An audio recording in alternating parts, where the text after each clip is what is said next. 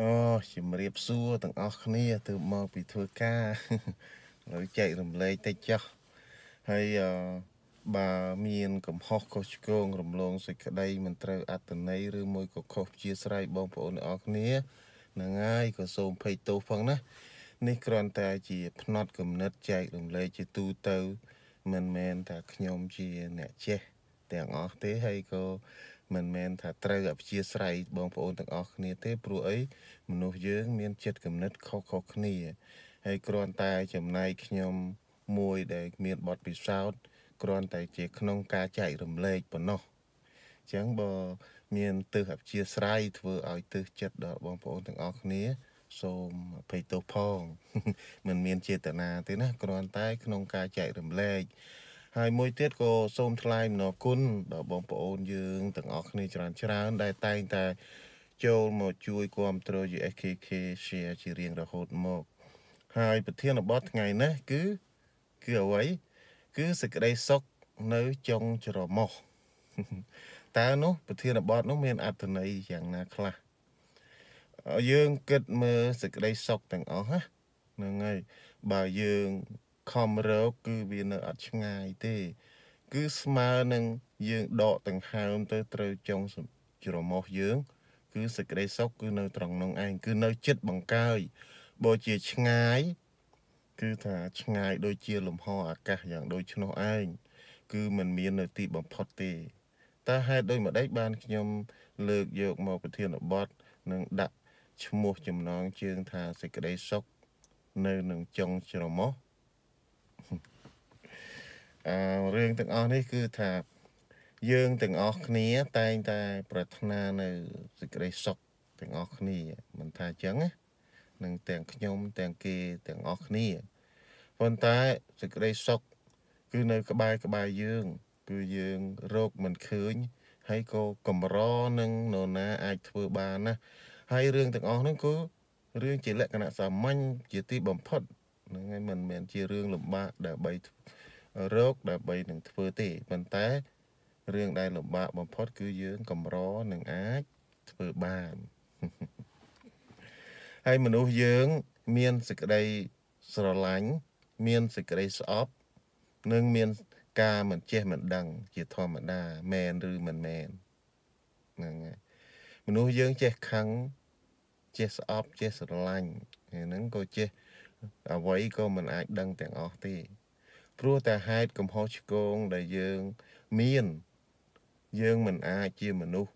ដែលគ្រប់10ទេ យើងមិនអាចជាមនុស្សដែលថាល្អឥតខ្ចោះទេណាហើយយើងមិនបាច់គិតរកគ្នាច្រើនទេត្រឹមតែ2នាក់បើសិនជាយើងយល់ថាយើងជាមនុស្សដែលនៅ មានសេចក្តីស្រឡាញ់នៅ មានសេចក្តីខឹងក្រោតព្រោះអីសេចក្តីស្រឡាញ់ គឺជាហេតុនាំឲ្យខឹងក្រោតដែរហេតុនាំឲ្យកើតអំពើអាក្រក់ដែរហើយសេចក្តីស្អប់យើងមិនបាច់និយាយទេខឹងក៏នាំឲ្យកើតដែរហេតុដូចម្ដេចគឺថានៅពេលដែលយើងរបស់ណាយើងស្រឡាញ់នៅពេលដែលអ្នកនោះ បានធ្វើនៅសេចក្តីល្អចំពោះអ្នកដទៃហើយដាក់យើងចុះយើងមិនខឹងមិនហេតុនាំឲ្យខឹងឃើញទេ ឃើញរបស់ណាដែលស្រឡាញ់ព្រាត់ប្រាសទៅតែងតែអន់សពុនចិត្តនឹងតែងតែនាំឲ្យកើតសេចក្តីក្រោធហ្នឹងហើយដែលយើងសពតសពូនអាណិតអសូរហ្នឹងមិនមែនជាអាណិតទេអាហ្នឹងជាហេតុនាំឲ្យកើតសេចក្តីខ្នាក់ខ្លាំងចិត្តនិងបណ្ដាលឲ្យកើតនៅសេចក្តីក្រោធនាំឲ្យកើតនៅសេចក្តីទុក្ខហើយសេចក្តីខឹងក្រោធនោះក៏អញ្ចឹងដូចគ្នាហើយតើយើងត្រូវធ្វើដូចម្ដេចបើយើងរស់នៅ2នាក់ ណាយល់ថាមនុស្សយើង មាន ការខឹងស្រឡាញ់ស្អប់ជាធម្មតាมันអាចបំបត្តិបានទេបើសិនជាមានការខុសឆ្គងនៅពេលដែលយើងនិយាយថានៅពេលដែលខឹងឯអ្នកណាក៏ខុសដែរវាមិនដែលស្ងប់ទេដូចជាកកបាតពីអញ្ចឹងដូចជាទឹកកំពុងតែរងហ៊ានតឡានបើកាត់ទៅ គឺវាល្អក់ហើយណាអ្នកណាក៏ខុសដែរអ្នកណាក៏ចេះខឹងដែរ បន្ទាប់ពីយើងខឹងហើយ នៅពេលដែលស្ងប់ចិត្តស្ងប់គំនិត យើងត្រូវតែគិតថាសេចក្តីខឹងនេះគឺវាខុសហើយយើងមានការសុំទោសទៅដល់បដិបៈមួយខាងទៅណាមួយខាងទៀតទីផតណាជាអ្នកណាក៏ដោយក៏មានគ្នាពីរនាក់ហើយអ្នកខាងនោះបើដឹងតែយើង មានសេចក្តីក្រោតខឹងហើយកញ្ញងកញ្ញាំងអញ្ចឹងនិយាយទៅគោះបោកបោកអញ្ចឹងទៅក៏យើងសុំទោសទៅខាងនោះទៅណា ហើយយើងខំធ្វើនៅសេចក្តីល្អតទៅទៀតទៅប៉ុន្តែវាមិនមែនថាខុសម្ដងនឹងហើយលើក្រោយមិនខុសទៀតទេតែងតែខុសបើសិនជាយើងមានការដឹងខ្លួនខុសសុំទោសដល់ម្ខាងហើយម្ខាងទៀតក៏ដឹងខ្លួនខុសសុំទោសដល់ម្ខាងទៀតតែជួយដាស់តឿនការរំលឹកឲ្យយើងយល់ថាយើងមានសេចក្តីស្រឡាញ់ស្អប់ក្រោតខឹងមិនចេះមិនដឹងដូចគ្នាទាំងអស់ យបើយើងមានការយល់អញ្ចឹងនៅពេលដែលយើងអ្នកដត្រូវមកខាងស្ដីបន្ទោសចេះចុះហើយយើងខំនៅអត់ធន់ហ្នឹងណាអត់ធន់ហើយយើងខំដែងស្វែងយល់ពីសេចក្តីទាំងអស់នោះឬក៏ដើរចេញឲ្យឆ្ងាយរាប់ដល់100ទៅកុំឲ្យលឺសូរសំឡេងហ្នឹងហើយយើងដឹងច្បាស់ហើយបើយើងនិយាយគ្នាត្រូវដឹងយល់ទាំងអស់នោះ គឺមួយខាងនោះច្បាស់ជានៅពេលដែលគាត់ស្ងប់ចិត្តគាត់នឹងមើលឃើញនៅទោសកំហុសគាត់ប្រកាសជាមកសុំទោសឲ្យកែលម្អហើយខាងយើងមិនមែនយើងធានាថាមិនខឹងទេខឹងដូចគ្នាហើយនិយាយទៅខាងនោះក៏សុំទោសអញ្ចឹងទៅទៅមកទៅមកហើយសេចក្តីសុខវាមិនកើតឡើងព្រោះអីមនុស្សយើងវាមិនល្អភើបឲ្យដែងល្អអត់ខ្ចោះទាំងអស់ចឹងហើយបានគួរណាអនុគ្រោះ គួរណាមានការស្វែងយល់អព្យាស្រ័យគ្នាទៅវិញទៅមកបើសិនជាយើងបានអនុវត្តដោយរបៀបនេះតែយើងទៅរកនៅសេចក្តីសុខនោះតើនៅឆ្ងាយឬមួយក៏នៅចិត្តគឺវានៅចិត្តយើងនឹងឯងហើយអ្នកទាំងអស់គ្នាសាកលបងមើលមើលមិត្តភ័ក្តិឬក៏ប្តីប្រពន្ធអ្នកណាដែលមានអព្យាស្រ័យដូចគ្នាណាប៉ុន្តែ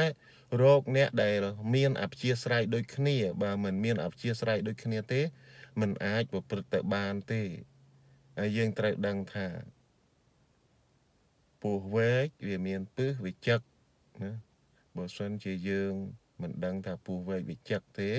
ទៅវាច្បាស់ជាចឹកហើយហើយរបស់ដែលវាមិនមានពឹសពុលគឺអ្វីគឺដូចជាសត្វមន់សត្វអីអញ្ចឹងណា វាអត់មានពឹសទេឬមួយក៏ពស់សន្លាប់កែបយើងស្គាល់ច្បាស់វាអត់មានពឹសទេគ្រាន់ខំឈឺផ្សាផ្សាប៉ុណ្ណឹងឯងយើងត្រូវយល់លក្ខណៈទាំងអស់នោះ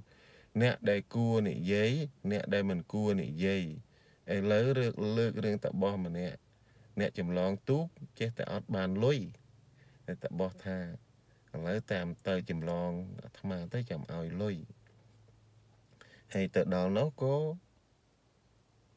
តបោះប្រាប់ថាលុយដែលអាត្មាឲ្យនឹងឲ្យរាប់មិនអស់ទេគឺលុយច្រើនមុននឹងវិធីគឺមុននឹងចម្លងមនុស្សត្រូវយកលុយមុននោះគឺបានលុយឯងមិនមិនមិនមែនថាអត់បានលុយទេគឺត្រូវតែបានលុយឡោះហើយអ្នកដែលចម្លងទូកនោះខឹងតបោះទាលុយអត់បានវាយតបោះបែកមុខបែកមាត់អស់ហើយ តែពាក្យល្អក៏ពិតមែនប៉ុន្តែយើងគួរនិយាយចំពោះបុគ្គលដែលយើងគួរនិយាយបុគ្គលណាយើងមិនគួរនិយាយយើងកុំនិយាយបើនិយាយទៅបែកមាត់ដូចតបោះចឹងបានចឹងតបោះអ្នកស្រុកមករឺច្បាច់គក់ក៏ដឹងខ្លួនវិញក៏សំដែងនៅធម្មទេសនានេះយើងថាធម្មទេសនាចុះថានិយាយត្រូវក៏ពិតមែនប៉ុន្តែនិយាយបុគ្គលគួរដល់ក្នុងការនិយាយ ហើយត្រូវតែមើលនៅសភាពការនៅឧបនិស្ស័យជាស្រ័យបុគ្គលនោះផងបើយើងនិយាយមិនត្រូវវាអត់មានសេចក្តីសុខអីទេហ្នឹងហើយវានាំឲ្យកើតនៅចំនួនផ្សេងផ្សេងទៅវិញចឹងថាសេចក្តីសុខវានៅនឹងចុងច្រមុះរបស់យើង ព្រោះអីយើងម្ដងទៀតយើងជាអ្នកខឹងយើងជាអ្នកស្រឡាញ់ព្រោះស្រឡាញ់នាំឲ្យកើតសេចក្តីក្រោធឥឡូវ យើងថាយើងស្រឡាញ់នរណាម្នាក់មិនថាស្រីមិនថាប្រុសទេណាមិត្តភ័ក្តិណាសាឥឡូវយើងនិយាយថាស្រីចុះហ្នឹងហើយគាត់ទៅធ្វើសេចក្តីល្អនៅខាងនោះញឹកញាប់ចឹងទៅញញយចឹងយកចិត្តទុកដាក់ជាងយើងហើយគាត់មិនយកចិត្តទុកដាក់យើង តែយើងមានសេចក្តីអអន់សពុនចិត្តដែរមកពីអីមិនមកពីសេចក្តីស្រឡាញ់ហើយឥឡូវ មានមិត្តភ័ក្តិប្រុសគាត់ជាអ្នកចែកអំណោយឬក៏ចាប់បន្ទុកអ្វីមួយហើយនៅពេលនេះគាត់ប្រាប់ឲ្យយើងតម្រង់ជួរប៉ុន្តែយើងមកក្រោយគេ យើងអាងថាមិត្តភ័ក្តិចង់ទៅជួរមុខគាត់ថាទេត្រូវតែយុទ្ធធម៌ទៅជួរតតគ្នាស្រាប់តែចែកអំណោយមកដល់កន្លែងគាត់យ៉ាងម៉េច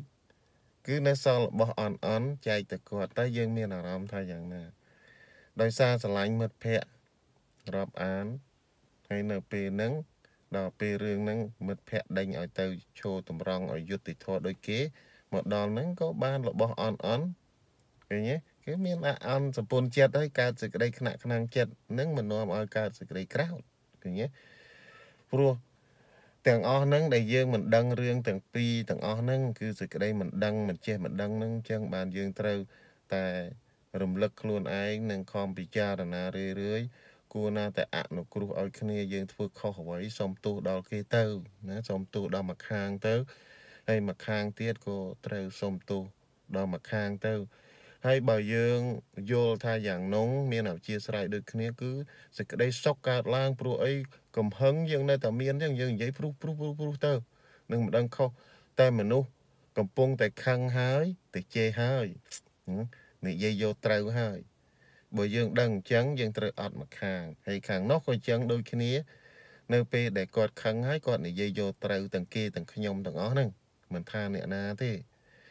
បើយើងមានអព្យាស្រ័យចេះសូមទោសអនុគ្រោះគ្នាទៅវិញទៅមកដោយភាពអត់ធន់ហ្នឹងសេចក្តីសុខនឹងកើតឡើងហើយតែមនុស្សពីរនាក់នេះ គឺថាវាសុខជាងដែលយើង មានទ្រព្យសម្បត្តិពេញពិភពលោកទាំងមូល ស្មើនឹងផែនដីគឺសេចក្តីសុខកើតឡើងគឺថាសុខមែនទែនណាសុខណាហ្នឹងហើយព្រោះអីយើងធ្វើខុសមានអ្នកអនុគ្រោះមានអ្នកដែលយល់ចិត្តរបស់យើងមកខាងខាងនោះនៅពេលដែលគេធ្វើខុសមិត្តភ័ក្តិប្តីប្រពន្ធឬមួយក៏យ៉ាងណាយ៉ាងណា គឺមនុស្សពីរនាក់និយាយស្មើទាំងអស់គឺយើងយល់ច្បាស់អ្នកនឹងច្បាស់ជាអនុគ្រោះឲ្យនៅពេលកំហុសឆ្គងយើងធ្វើ ហើយអ្នកនោះនឹងផ្ដល់នៅឱកាសឲ្យយើងម្ដងទៀតហើយនឹងអ្វីអ្វីរត់អានគ្នាស្មើដូចលើកមុនព្រោះអីមនុស្សយើងពិបាកណាអាការខឹងក្រោតទាំងអស់ហ្នឹងវាមិនមែនតែអាចប្រព្រឹត្តទៅដោយការមិនខឹងក្រោតទេហើយសេចក្តីស្រឡាញ់ក៏ចឹងដូចគ្នាការស្រឡាញ់តែងតែមានការលំអៀងបន្តិចបន្តួចអញ្ចឹងទៅនាំឲ្យមកខាងអអន់ចិត្តបើសិនជាយើងយល់អញ្ចឹងរស់នៅតែពីរនាក់មានសេចក្តីសុខណាសុខមែនតែន ចឹងសេចក្តីបញ្ចប់មានប្រមាណប៉ុណ្ណេះហើយសេចក្តីសុខនៅចុងច្រមុះគឺវាអត់ទៅឆ្ងាយទេព្រោះយើងអាចធ្វើបានគឺសុខទៅបានណាគឺសុខមែនតែនគឺខ្ញុំពិសោធន៍រួចហើយចឹងក៏សូមអរគុណច្រើន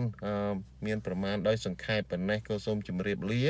នឹងជួបបងប្អូននៅខ្សែវីដេអូជាបន្តបន្តទៀតហើយកុំភ្លេចនៅចុងសប្តាហ៍នេះ នាំគ្នាទៅដើរលេងកំសាន្តនៅឯមហាសសមុទ្រមហាសមុទ្រដែលមានឈ្មោះថាមានឈ្មោះថា Sunset Beach ឥឡូវខ្ញុំចូលចិត្តចែករំលែកចឹងបងប្អូនទាំងអស់គ្នារងចាំទស្សនានៅការដើរលេងកំសាន្តនៅចុងសប្តាហ៍នេះចឹងក៏សូមជម្រាបលាជួបគ្នានៅខ្សែវីដេអូជាបន្តបន្តទៀតបាយបាយហើយកុំភ្លេចថាសាយសបុកផងណា